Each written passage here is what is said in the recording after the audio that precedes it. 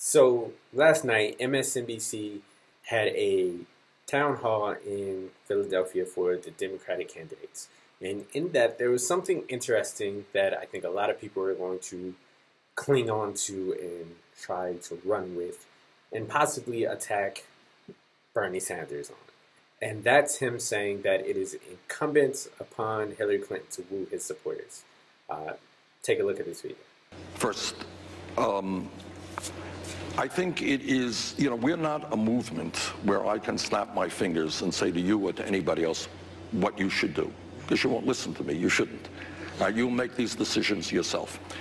I think if we end up losing, and I hope we do not, and if Secretary Clinton wins, it is incumbent upon her to tell millions of people who right now do not believe in establishment politics or establishment economics, who have serious misgivings about a candidate who has received millions of dollars from Wall Street and other special interests. She has got to go out to you and to millions of other people and say, yeah, I think the United States should join the rest of the industrialized world and take on the private insurance companies and the greed of the drug companies and pass a Medicare for all. I think that, says Secretary Clinton, that for the young people in this country, you should not have to leave college 30, 50, 70,000 dollars in debt because we're going to make, as many other countries around the world do, public colleges and universities tuition free.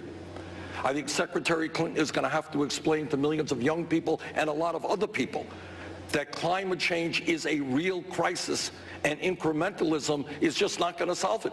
That's And she is going to have to come on board and say, yeah, I know it's hard, but I am going to take on the fossil fuel industry and pass a carbon tax. So the, the point that I am making is it is incumbent upon Secretary Clinton to reach out not only to my supporters, but to all of the American people with an agenda that they believe will represent the interest of working families, lower income people, the middle class, those of us who are concerned about the environment and not just big money interests. There's there's, there are Hillary Clinton supporters who I talk to, um, people who, some of whom are, are, diehards and some of whom aren't. They voted for her, they like you, they like your politics. But, but there is concern that the thing you said at the beginning of that answer strikes me as important. You can't snap your fingers. I mean, people, this thing is big and people are very passionate. Um, you know, you have Tim Robbins, who's done events for you. He tweeted something today about the elections being stolen, and Rosario Dawson mentioned Monica Lewinsky, and all that's going to come out in the wash, I agree. But the question for you is, if it's incumbent on her, what role do you have if and when you come to that movement? Good. Fair question. I work with Republicans in the U.S. Senate, and I see what they do in the House. I think the Republican Party today has moved so far to the right that they are way, way, way out of touch with where the American people are. These are people who almost without exception do not even recognize the reality of climate change, let alone want to do anything about it. They want to cut Social Security and give tax breaks to billionaires. They want to end the Affordable Care Act, but they have nothing to replace it with. I will do everything in my power to make sure that no Republican gets into the White House in this election. Here's the thing. I, I agree with Bernie. It is in very incumbent upon Hillary Clinton to, you know, woo the Bernie Sanders supporters. It's he can do, you know, he can come out and say he supports her, he endorses her or whatever. But at the end of the day, it's it's her job to excite them and make them feel as though they uh, should or want to support her. And if she cannot do that, then that is on her and not on Bernie. Because, again, he can't control the people that support him. He is not a magician. He's not God. He can't snap his fingers and say, hey, I'm out now, support Hillary. He cannot do that.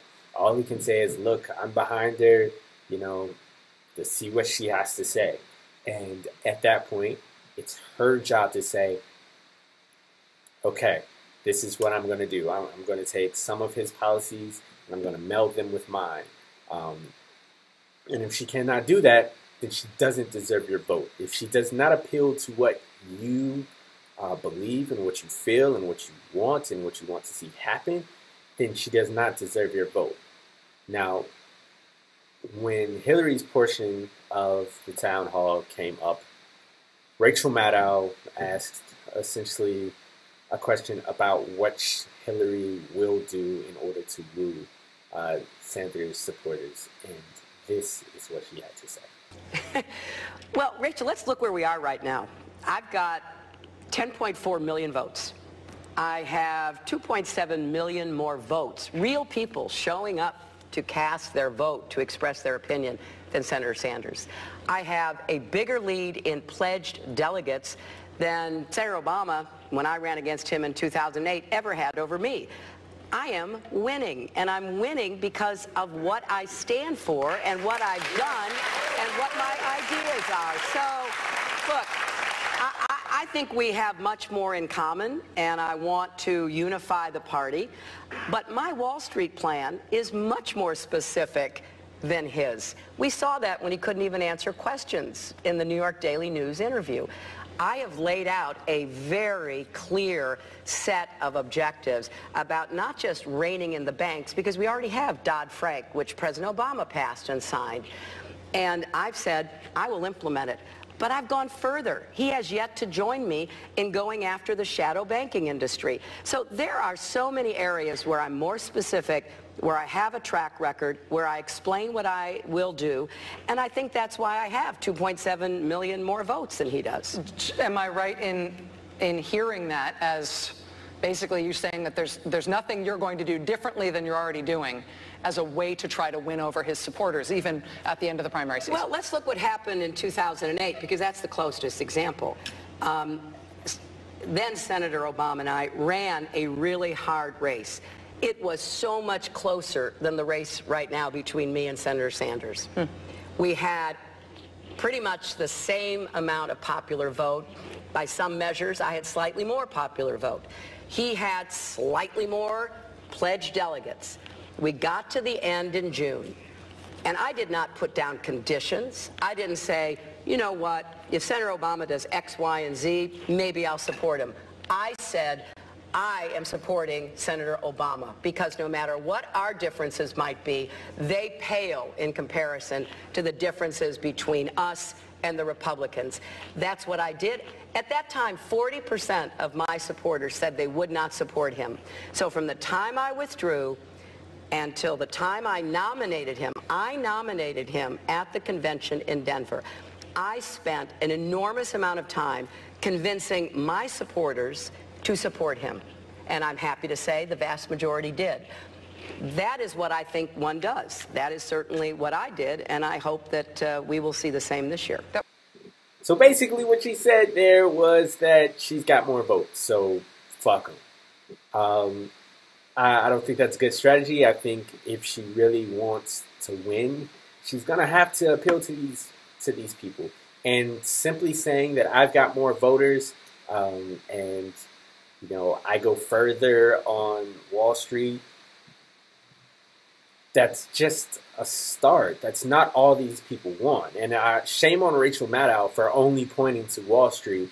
And then when Hillary brings up that debunked Daily News uh, interview, not doing a follow up and saying, well, that daily news article has been debunked by plenty of sources, including MSNBC has debunked it. You know, so shame on Rachel Maddow for not doing a doing her job and following up and going after Hillary on that because that article, that interview has been debunked by plenty of sources.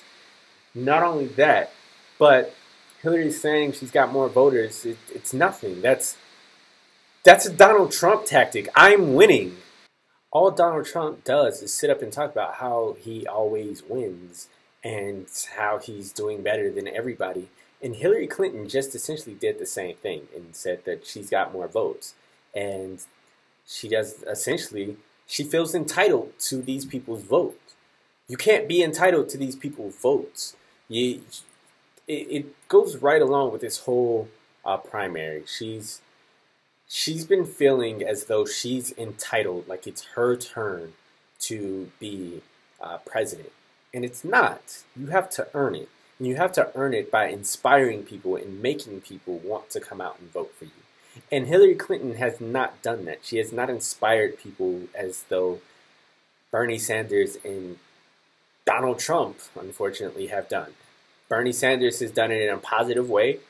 Donald Trump has done it in a negative way, but they have both inspired and excited people and riled them up and wanted make them want to go vote and make change happen. Although again, Donald Trump is doing it in a negative way and Bernie is doing it in a positive way. That's what they've done. Hillary Clinton has failed to do that. And you can't turn around and say, well, I'm winning. So these people, you know, they have to come and support me. You know, you can't do that. They're not going to do that. They, people are not turned on by someone saying, I've got more votes. I've got more pledged delegates. You have to come support me, you know, if I win. A lot of these people, and Hillary Clinton has to realize this, a lot of these people who su- support Bernie Sanders, they're independent voters. And most of that is because uh, a lot of these new voters, these young voters, are independents when they become of age. They more oftentimes than not, me for example, I'm an independent voter. I live in Georgia. We have an open primary. I don't have to register to a party to vote uh, in a primary. So I'm an independent. You know, I'm 26 years old. I support Bernie Sanders. Hillary Clinton has to appeal to people like me who don't believe in party loyalty and say to them, okay, I hear what you're saying. I hear, you know, how much you support Bernie Sanders and I hear his message.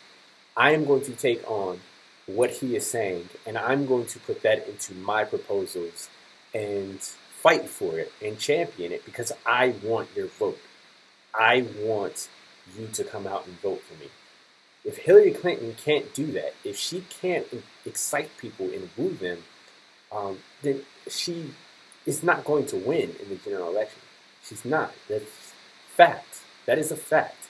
You can't win in the general election by not exciting people and inspiring people to go out and vote. You can't. It's just not going to happen. So what what we're going to see is Bernie Sanders, if he loses, he's going to say, okay, well, I lose, I support Hillary Clinton. You know, he may not go out and campaign for it, he may not go out and canvass for it, but he will give his support. But at that point, if she fails to excite the Sanders supporters, then that's her fault, not his. Because he doesn't control them. He is not a puppet master. Okay, like the Hillary Clinton campaign is with their supporters. Uh, you see that with the correct the record and them controlling their supporters and saying, hey, get on Facebook, Reddit, and Twitter, and YouTube, and go after these people who have negative things to say about Hillary Clinton. They're, they're playing puppet master with their, their supporters. So they could definitely get their people to turn around, probably, to support Bernie Sanders. But Bernie Sanders can't because his supporters are free thinkers and they don't believe in party loyalty. They believe in what they stand for. And if Hillary Clinton cannot appeal to those people's ideologies, their principles, their beliefs, then she does not deserve their vote. You do not deserve someone a vote just because they have a D in front of their name. You do not deserve someone a vote just because they belong to a party that throughout time has been more um, on the right side in terms of uh, in history. You know, they've been on the wrong side a lot in history, actually. Let's just keep it real. You know, Hillary does not deserve your vote if she's not going to work for you. That, that's, that's the point here. And from that clip, from what she just said, she's not going to work for it. And tough titties. Like that, I, I don't know what else to say. That's that is what Hillary Clinton is about. She's entitled and she's um, conceited. She's got more votes, so you know you have to vote for her. She has a D in front of her name, so you have to vote for her. And she's wrong, and she's going to learn that lesson the hard way. And do I want to see a Republican president? No, I don't. That includes Hillary. Hillary Clinton is a center right uh, politician. I don't want that in the White House. That's what we essentially got with Obama. I don't want more of that. I want a progressive in the White House. I want someone who's going to actually fight. I don't want someone who's going to start from the center and move to the right on issues, which is what Obama did with healthcare. I want someone who's going to start from the left and move to the center on issues. Because at least then we get more progressive stuff in there than we get right wing stuff. And Hillary Clinton yet again proves that she's not the politician for Bernie Sanders supporters. She's not going to fight for them. She's not going to work for them. And she's not going to do whatever it takes to get their votes to ensure that she does win. She's going to simply say, I won, vote for me, which is a Donald Trump tactic. He's been saying that this entire his entire campaign. I'm a winner. I'll win. If I become president, we'll win so much, you'll get sick of winning. That's what Hillary Clinton just did right there. And she can bring up 2008, but let's not forget Party Unity My Ass. Pumas. That is what they were called, her, her supporters were called in 2008. So is it wrong if Bernie Sanders supporters say Bernie or bust? She's not going to fight for their vote, so Bernie or bust.